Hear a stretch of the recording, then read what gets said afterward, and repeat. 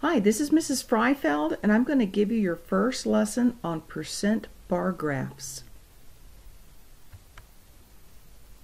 If you can remember in elementary school, most kids made a circle graph with M&Ms or Skittles or something, and you had a little bag and you tore it open and you counted how many of each color you had, and you made something that looked like this.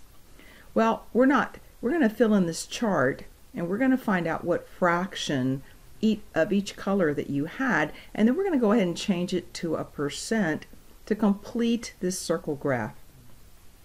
The first thing we do is we count the M&Ms, and I see that I have 20 of them. So that's my denominator. And since I'm talking about red, my numerator for that is going to be 4. So 4 20ths of that bag is red. I can go ahead and complete it for the rest. I have 5 20ths that are blue, 5 twentieths that are green, 4 twentieths are yellow, and I have 2 twentieths that are pink. The next step would be to change that fraction to a percent. The first thing you need to do is TIBO or divide, change the fraction to a decimal, and then move your decimal point two places to the right to make it a percent. So I'm going to go ahead and complete that column. And you can see that 20% are red, you can see 25% are blue. I have 25% that are green, 20% that are yellow, and 10% that are pink. And when you add up all the percents, it should equal 100% because that would be the entire bag. A percent bar graph is when you take that circle graph that you made and you kind of pound it out into a bar.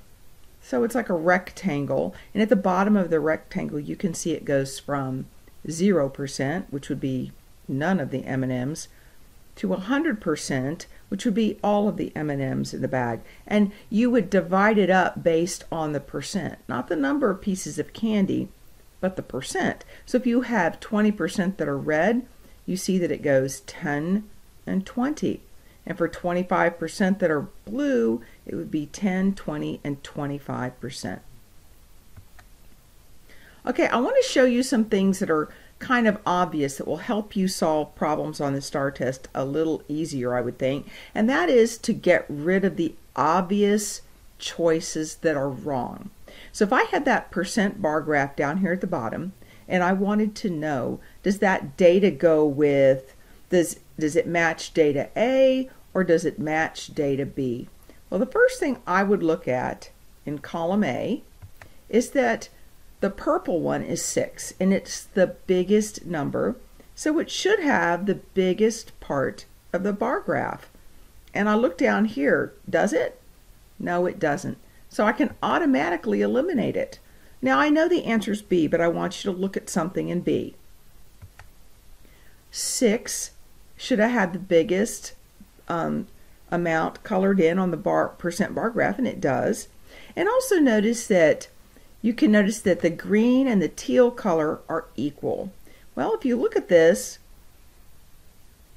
they are equal. You can do it either by looking at it or counting it. 10, 20%, and 10 and 20%. So I can tell that that is the correct answer. Let's try that again because this will help you later on. First, we're going to check out data in the A column. And I can see in both A and B, the purple is the biggest color. And I look down at the percent bar graph and I see that purple's the biggest color, so I can't really use that. I, now I'm going to go to the A and I'm going to see that it says that red and blue should be the exact same size. And I look down here and I see that red is bigger than blue. Now, that takes care of that. It's not A. The answer is B. And now what I want to look at is this one. This one, there is nothing obvious about these. If you look at it here, purple should be the biggest on in the graph. And if you look at each percent bar graph, purple is the largest. So I can't really use these tricks that I know. And in this particular case, what I need to do is actually find out what percent these colors are. What I'm going to do first to find the percent is, is I need a fraction. So if I add up all the different colors, I have a total of 25, and that would be my denominator. And then I'm going to look down here, and you can see that I chose teal to find the percent of teal. And I did that because they're all different sizes. It would be kind of harder to do it if I chose red because those are kind of close. Green I didn't choose because A and B for green are both the same size. So I wanted a color that was different in every one of those percent uh, in the percent bar graph. So I chose teal and that's why my numerator is 2. The next thing is to go ahead and change that fraction to a decimal. And I do that by T-bowing.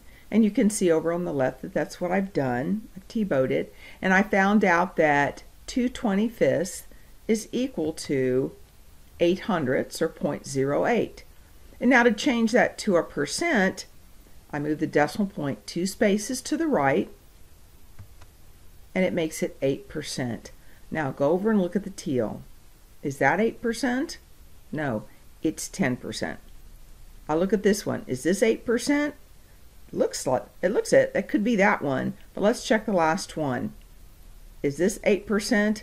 No, it absolutely is not 8%. It's 5% or less. So the correct answer to this one is B. You did a great job.